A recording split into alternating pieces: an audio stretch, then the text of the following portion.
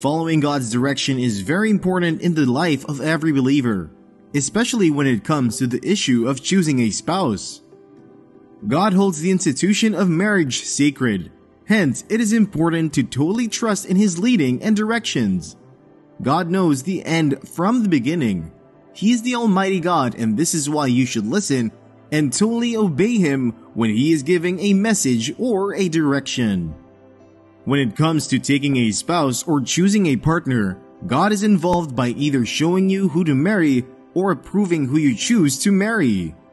God choosing and showing you who to marry does not mean He has not given you a free will to make your choice or your decision. When God chooses for you, it is because He wants the best for you. However, as a believer, you have been given the opportunity to choose who you want to be with and love. There must, however, be a clear approval from God Himself concerning your union to that man or woman. When God clearly shows you He wants you both to be joined together, He will give you signs that show He has approved of your relationship or marriage. There are so many things you have to consider before making that person your partner forever. So many Christians today have allowed little enticement, such as physical beauty, wealth, fashion, education, qualification, and the rest, cloud their judgment in making the right decision concerning marriage or relationship. It is not that all these attributes are bad in making a choice for a spouse. However, they should not be your priority. The first and most important thing to consider when considering choosing a spouse is to hear from God. So many people are not even ready for a relationship or marriage. So many do not have the understanding of getting into a relationship or marriage, hence they are not even prepared. It is important to know God's will and purpose concerning any union you plan to have with your intended spouse. It is okay that you are physically attracted to that person, but is that person ready to love God? Have you taken that person to prayers and inquired of the Lord if that man or woman is God's will for you? One of the things you must look out for is if the person is really born again and committed to the service of God. It is not just by playing church member or pretending to be born again. Some people go to the house of God today for so many reasons. Most young men and women come to church to survey and look for unsuspecting children of God like you in a desperate bid to get a spouse. This is why Jesus told us to be careful in Matthew chapter 7 verse 15 about wolves in sheep's clothing who have come to deceive and cause disruption among the children of God. This is why as a child of God, you should be filled with the Spirit of God.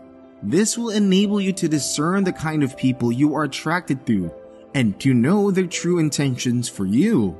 The person you may have fallen in love with might be someone who is a pretender.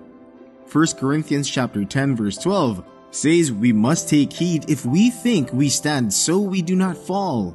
As a Christian who is searching for the right person for a relationship, you must totally seek God's will and direction concerning whom you are really attracted to. Only then can you really have a peaceful and godly relationship. In a case where you are attached to someone, you must be alert in the spiritual realm to know who you associate with, who you are expressing your feelings for. When the Spirit of God lives in you, He will guide you and direct you in such matters. The Spirit of God cannot be in you, and then you fall in love with an unbeliever. No, that is not the Spirit of God in you. Examine such spirit. You cannot be equally yoked with an unbeliever. So many believers are of the thought that they can change such person. God's word tells us that by strength no man shall prevail in 1 Samuel chapter 2 verse 9. They think they can change their partner for good by their own will. This is a very wrong assumption. What has light got to do with darkness?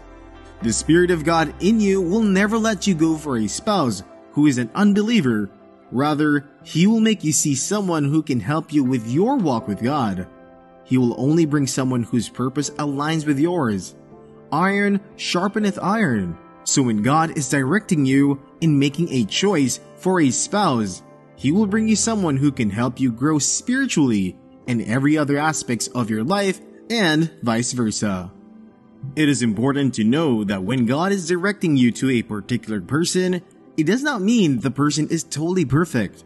However, you will have peace and tranquility in your heart because you obeyed God.